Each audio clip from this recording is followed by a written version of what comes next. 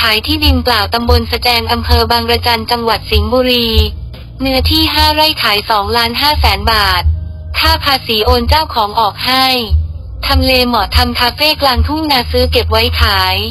เช่าทำนาเก็บค่าเช่าไร่ละ 2,000 บาท วิวนาข้าวหลัก 100 ล้านยิงแอดโฆษณาวันละ 100 บาท การรอรอเข้าถึงวันละ 200 คนปังมากรับรองธุรกิจดังพลุแตก ยอดขายทะลุ 1 0 0 0 0แสนบาทต่อเดือน อำเภอบางระจันเดิมชื่อ อำเภอสิงห์ที่ว่าการอำเภอตั้งอยู่บ้านเชิงกลัด ทางฝั่งขวาของแม่น้ำน้อยห่างจากที่ว่าการอำเภอบางระจัน ในปัจจุบันไปทางทิศเหนือประมาณ 6 กิโลเมตร ต่อมาทางราชการได้พิจารณาเห็นว่า ที่ตั้งที่ว่าการอำเภอค่อนไปทางเหนือมากเกินไปมีได้ตั้งอยู่จุดศูนย์กลางประชาชนมาติดต่อราชการไม่สะดวก ประกอบกับขณะนั้นลำแม่น้ำน้อยตรงที่ตั้งที่ว่าการอำเภอบางระจัน ก็ตื้นเขินขาดแคลนน้ำในฤดูแล้ง จึงได้พิจารณาหาที่ตั้งที่ว่าการอำเภอเสียใหม่ ต่อมาเมื่อปีพ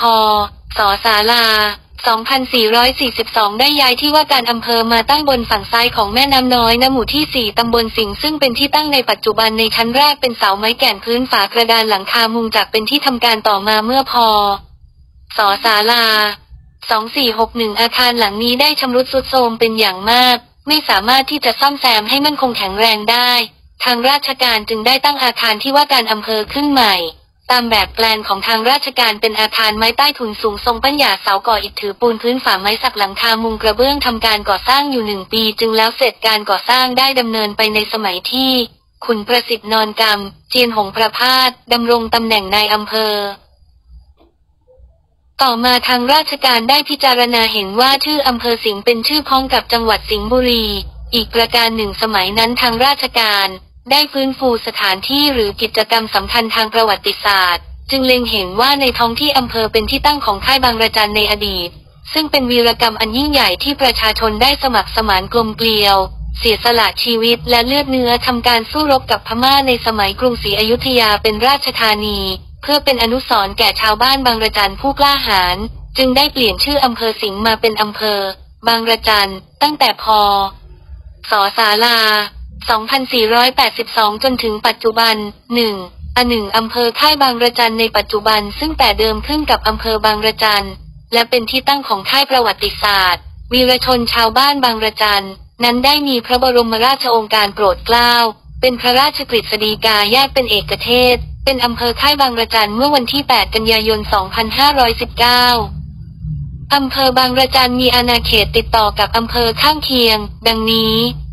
ทิศเหนือติดต่อกับอำเภอสันคบุรีจังหวัดชัยนาทและอำเภออินบุรี ทิศตะวันออกติดต่อกับอำเภออินบุรีและอำเภอเมืองสิงห์บุรี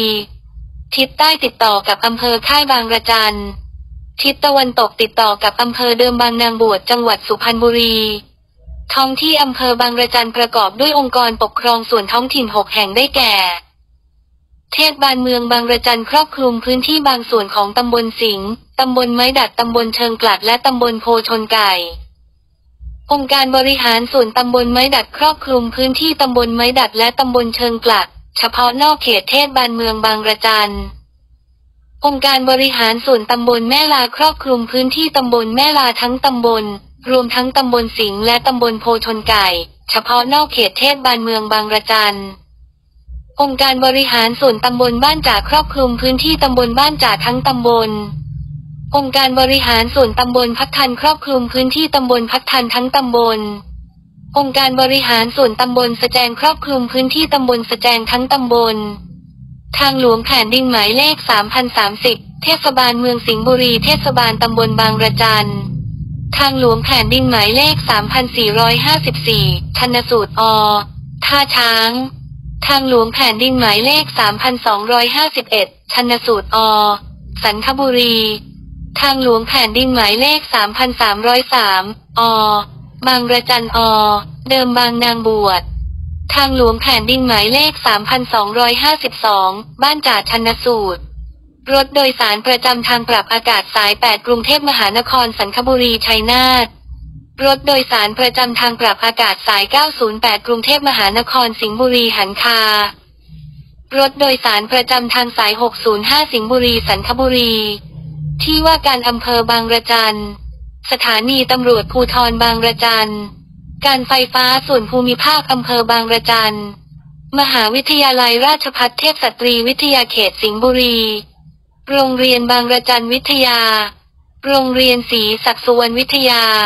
โรงพยาบาลบางระจัน ขายที่ดินเปล่าตำบลสแจงอำเภอบางระจันจังหวัดสิงห์บุรี เนื้อที่5ไร่ขาย2ล้าน5แสนบาท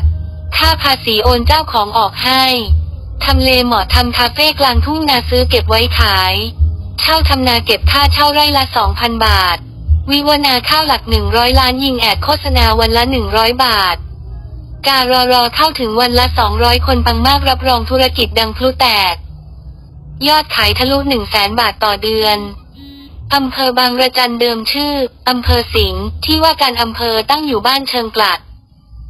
ทางฝั่งขวาของแม่น้ำน้อยห่างจากที่ว่าการอำเภอบางระจันในปัจจุบันไปทางทิศเหนือประมาณ 6 กิโลเมตร ต่อมาทางราชการได้พิจารณาเห็นว่าที่ตั้งที่ว่าการอำเภอ